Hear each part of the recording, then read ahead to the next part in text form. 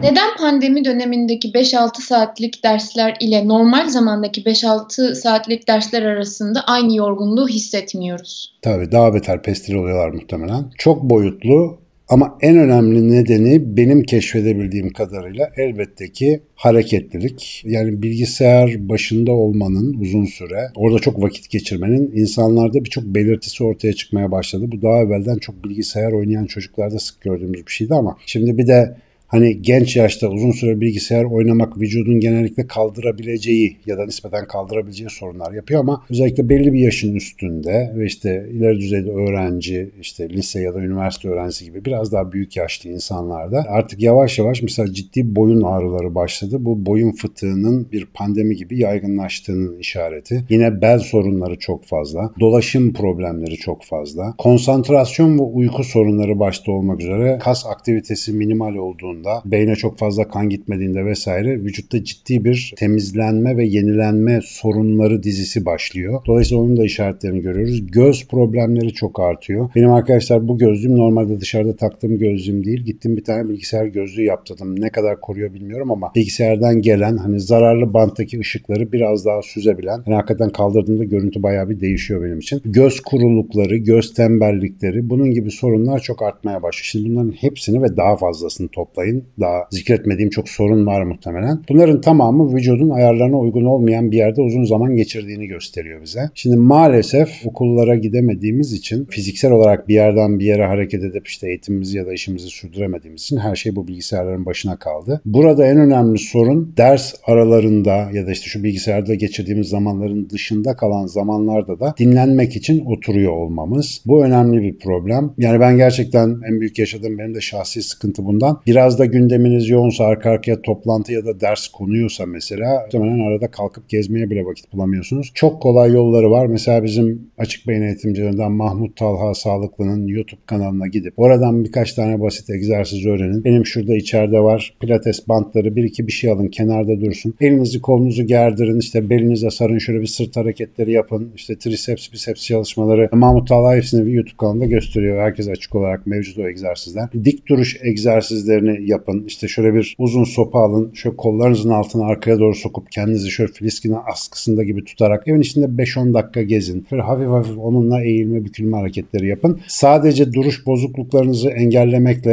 ya da onlarla mücadele etmekle kalmayacak. Aynı zamanda bedensel sağlığınızda, kan dolaşımınızda ve beyin çalışma sisteminde çok ciddi artılar yaratacak. Bunlar olmadığı zaman çok ciddi bir çelişki var. İlginç bir şekilde ben buna Değişen Beynim kitabımda temas etmişim ta seneler evvel. Kaç 2016'da mı 15'te mi ne yazdık o kitabı? Mesela orada bilgisayar başında üretim yapan modern insanın beyin ve beden çelişkisinden bahsetmiştim. Beyin haldır haldır çalışırken orada işte yazıyorsun, çiziyorsun, problem ders dinliyorsun. Beden hareketsiz kalıyor ve biz hani fabrika ayarları bağlamında baktığınızda atalarımızın hayatında böyle bir dönem muhtemelen hiç olmadı. Yani bedenen aktive olduğumuz zaman zihnimiz de aktive oluyordu. Tersinde de zaten oturup duruyorduk. Hani oturduğumuz yerde yapabileceğimiz çok fazla bir şey yoktu. Ama şimdi mobil cihazlar olsun, bilgisayarlar olsun tamamen bedenimizi devre dışı bırakan bir mantıkla çalışıyorlar. Yani fare tıklamaktan, klavye pıt pıtlamaktan başka çok bir yapabileceğimiz bir şey yok. Bu da ciddi olarak bizi yoruyor. Normalde şimdi şunu da söyleyeyim. Bir sınıfa gidip ders dinlemek de çok akıllıca bir şey değildi.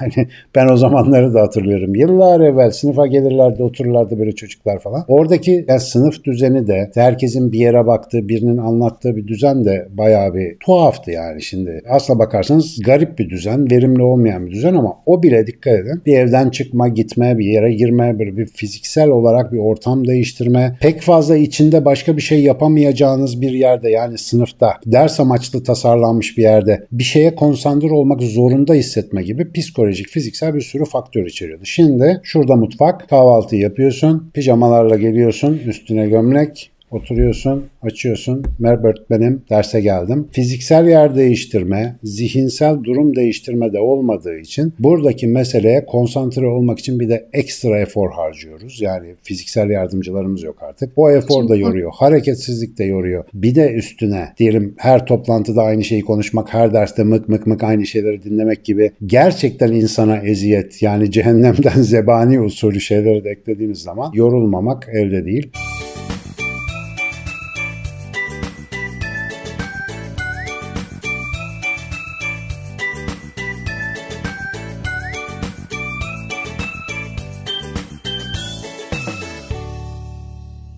Our dear sponsor, YDS Academy, sent me a very kind gift, you know. I want to share it with you. YDS Akademi biliyorsunuz soru yorumumuzun sponsoru.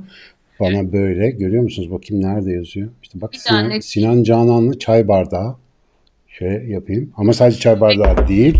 Hocam evet altı çok güzel. Böyle ben bir tahta bıdık bıdıkı var. Şurada bir tane de very cute spoon var. İşte gördüğünüz gibi. Ve ne vesileyle biraz geç oldu bana ulaşması ama ofise geç gittiğim için öğretmenler günü vesilesiyle böyle çok güzel bir güzellik yapmışlar. Kendilerine çok teşekkür ediyoruz. Yanında da bir sürü ciciler falan da göndermişler ama yani böyle ajandamızı falan filan. Ama bu çok hoşuma gitti. Çay içmeyi uzun süredir bırakmıştım. YDS Akademi dostları sayesinde sanıyorum tekrar çay içmeye başlayacağım. Bu gazı tutmam lazım. Gelmiş o kadar çay bardağı boş mu bırakalım? Söz yarından itibaren tekrar çay demlemeye başlıyoruz efendim. Dolayısıyla lütfen en azından fiziksel hareket kısmını coşturalım. Bir de bu arada genç arkadaşlarımın yüksek kalorili besin tüketmekten uzak durmalarını tavsiye ederim. Çünkü yüksek kalorili besin hareketsiz bir bedende hızlı bir şekilde yağa çevrilip karaciğerinizde orada burada iç organlarınızda depolanmaya başlıyor. Siz kilo almasanız bile iç yağlanma ve damarlardaki işte kanın akışındaki zorlaşma nedeniyle yakın zamanlarda yani yakın gelecekte problemler yaşama riskinizi arttırıyor. Birkaç ipucu mesela ara ara otururken çarpıntı marpıntı geçirmeye başlayanlar varsa özellikle 20'li yaşlarının ortalarındaki arkadaşlarımızdan bahsediyorum. Ya da efendim hemoroid gibi şikayetler başlamışsa, bacaklar sürekli ağrıyorsa, zırt pırt kramplar giriyorsa anlayın ki vücut diyor ki abi bir sıkıntı var gözünü seveyim. Yani dolaşamıyorum ben kan olarak gidemiyorum her yere falan diyor. Dolayısıyla birazcık hareket bin ayıp örter diyerek bağlayayım. Siz fiziksel kısmından çok güzel ifade ettiniz nasıl yapılması gerektiğini, etkilerinin ne olduğunu. Bir de bu sürecin şöyle bir etkisi var. Zaten değindiniz ama zihinsel hazırlık kısmı. Şimdi fiziksel olarak hazırlanıp üniversiteye gidiliyor, derslere veya okula gidiliyor, üst değişiliyor, makyaj yapılıyor, öğrenciler çantalarını hazırlıyor. Bunların hepsi hem fiziksel hem de zihinsel olarak bir eylemi yapmaya hazırlık var. Ama şimdi yataktan kalkıyor, dediğiniz gibi bir gömleği üstüne geçiriyor ve zihinsel olarak derse gireceğine hazırlanmadan direkt dersin içinde buluyor kendini. Konsantrasyon bağlamında da ciddi bir zorluk. Hadi bunu başardılar diyelim ekstradan e, zihinsel ağırlık yapıyor. E bu da doğal olarak hani daha yorgun hissetmeye, daha fazla efor sarf etmeye neden oluyor. Sizin dediğiniz gibi fiziksel hazırlıkla birlikte bu zihinsel hazırlığı da yapmak Muhakkak. lazım.